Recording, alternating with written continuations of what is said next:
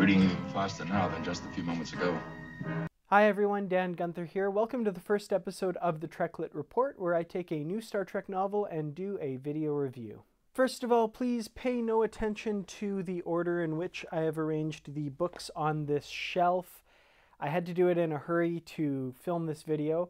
I will be reorganizing later. I've already been called out on Facebook for not having them in the proper order, so apologies for that. This week on the Trek Lit Report, I am reviewing the new Star Trek TOS novel, The Face of the Unknown by Christopher L. Bennett. The Corbomite Maneuver was the first regular production episode of Star Trek shot after the two pilots. The show was still finding itself somewhat, however, the episode did embody a lot of the traits that we think of when we think of Star Trek today the thrill of exploration, the idea that an enemy could actually be a friend. As a result, the Corbomite maneuver is a favorite of many fans, myself included. The Face of the Unknown is a sequel to that much loved episode. In this novel, we once again encounter the First Federation and their massive orb ships, like the one that the Enterprise encountered, commanded by Balok in the Corbomite maneuver. If you will recall the end of the episode, the scary version of Balok that we were introduced to turns out to be nothing more than a puppet used to intimidate new crews encountered by the First Federation. The real Balok was actually a diminutive alien kind of childlike and definitely non threatening. Commander, that puppet. My alter ego, so to speak. In your culture, he would be Mr. Hyde to my Jekyll. You must admit he's effective. You would never have been frightened by me. However, in this novel, we learn that the puppet version of Balok is in fact based on a real race of aliens called the Dasik, who are believed to have gone extinct many years ago. The Dasik have reappeared, attacking ships near the space of the First Federation, and of course it's up to Kirk and the crew of the Enterprise to investigate. In the course of their investigation, with a little help from Balok, they discover the world of the First Federation, which is actually a gas giant containing a habitat with the equivalent space of hundreds of different worlds all living together in a massive habitat. The First Federation is an organization of many different alien species who have come together in order to survive. However, we soon learn that several forces are coming together to possibly destroy the world that they've created. The Face of the Unknown features some top notch Star Trek storytelling. There's a very obvious environmental message here. The threat faced by the First Federation habitat is very much akin to climate change, and the author makes several parallels here that leap off the page at the reader. The science of what the civilization is doing to the environment of the gas giant is largely ignored for fear of facing their own mortality. The energy output of the massive habitat of the First Federation is upsetting the delicate balance of the gas giant and threatening wide scale storms and various other activities that might destroy the civilization.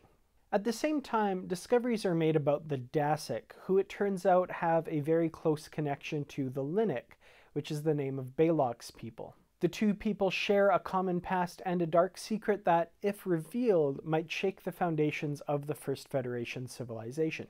Both of these plots center around the idea of fear and the consequences of not facing that fear. The rulers of the First Federation fear the idea that their civilization may be destroyed and are thus unwilling to face that prospect and the Linnik fear the revelations about their past. It is only in addressing these fears that the people of the First Federation can move forward and cure the ills that plague their society.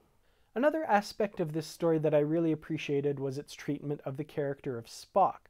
The story takes place shortly after the final episode of the original series, Turnabout Intruder, but before the beginning of the animated series. In a move that I wasn't expecting at all, author Christopher L. Bennett takes the opportunity to address several aspects of Spock's character that became apparent during the much maligned third season of Star Trek. Several times during that season, Spock acts seemingly out of character, most notably in the episode The Cloudminders, in which he flirts with a beautiful woman named Droxine, seemingly only because she is beautiful.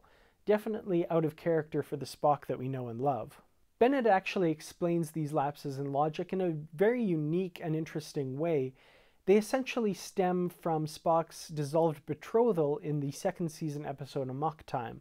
I'm not going to spoil it here, but Spock's exploration of these issues is a definite highlight of this story. The Face of the Unknown is a great start to this year's Treklit lineup. Some terrific character moments for the main cast, as well as several secondary characters. You may remember Lieutenant Bailey from the Corbomite maneuver. At the end of that episode, he leaves to become the ambassador to the First Federation, and now, after three years, he has grown a lot in his role, but is still experiencing a lot of the frustrations of his youth. He has a very interesting character arc within this story, as does a young Dasik fighter named Koost, who really surprised me with the depth of his character. It is through him that we really learn that there is a lot more to the Dasik than meets the eye. My final rating for The Face of the Unknown is 4 out of 5 boisterous Balok laughs. There is also a Literary Treks episode about this novel. I'll have a link in the description to the show page and a link somewhere above me here probably to uh, where you can listen to that show on YouTube. How about you? Have you read The Face of the Unknown? What did you think? Leave a comment below and I'll be sure to respond to it. Last week's video was a review of the Enterprise episode Divergence. Here's what you had to say. Hosrex wrote, I love Judith and Garfield Reeves Stevens. I've read every Trek thing they've ever written. I agree completely. They are a definite boon to the Star Trek universe. In fact, over on the Literary Treks podcast, Bruce Gibson, Matthew Rushing, and I recently spoke about the William Shatner novel Spectre. That episode isn't quite out yet, but I will have a link to it once we have it available. Spectre and, of course, the rest of the William Shatner verse novels were co written with Judith and Garfield Reeves Stevens, and their supreme talent in writing about Star Trek shines through on every page. Well, thank you all so much for watching. Next week, I will have the first episode of the brand new Star Trek News Desk, where I have a roundup of all the Star Trek news from the past month. Be sure to like this video if you liked it, subscribe for news and information and reviews from all over the Star Trek universe, follow us on Facebook and Twitter, and have a great week.